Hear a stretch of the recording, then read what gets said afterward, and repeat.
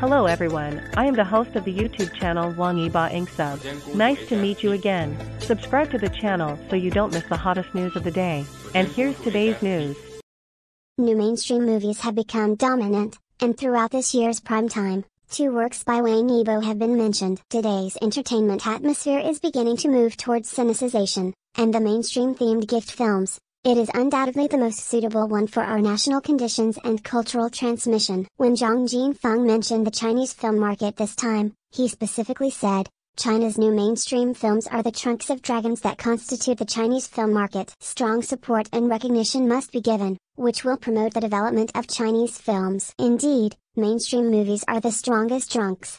With this basic guarantee, only branches and leaves can bloom and a hundred flowers bloom. At the same time, as the representative of Trunk Like a Dragon, the new mainstream movies are mainly concentrated in the mainstream tribute movies. Works that can better demonstrate our Chinese cultural heritage and the feelings of the Chinese people. In fact, it tells us indirectly, in the Golden Schedule, more attention is paid to the release of mainstream gift films. In this interview, Zhang Jinfeng mentioned, which works will be the existence of trunks like dragons, among which, Shocking Rescue and No Name have been filmed and Above the Cliff is under preparation. China Ping Pong and The King of the Sky are all key projects. After seeing these works, their promotional posters were also displayed on the big screen. Of particular note is that among these works, there are two films that Wang Yibo participated in which is really exciting. As the representative of the current Generation Z, Wang Yibo's popularity can be said to be the highest. His nationality and popularity are quite good. It is also a representative of the current positive energy artist. Today's Generation Z,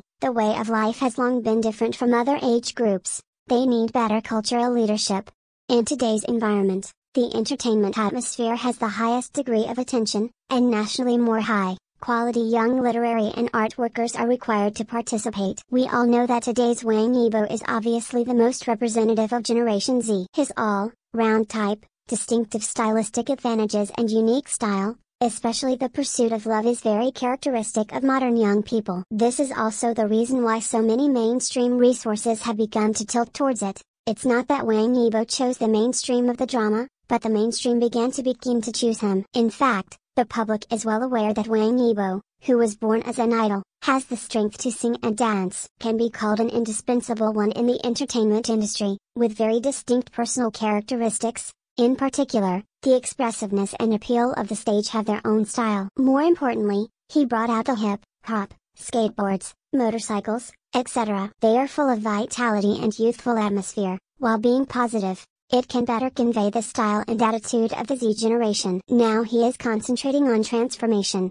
As a young actor, he will emerge on the big screen. This is more of a guide of mainstream cultural values. Many people have found that Wang Yibo has reduced the exposure rate and improved the quality of exposure. More is to seriously improve acting skills and enhance their core competitiveness. This is why the mainstream prefers it so much. In fact, most of them have an attitude of expectation and are waiting for Wang Yibo's big screen performance. Passers, by see the works and the performance of the actors, and only good works can get a good reputation. Waiting for Wang Yibo's works to be released.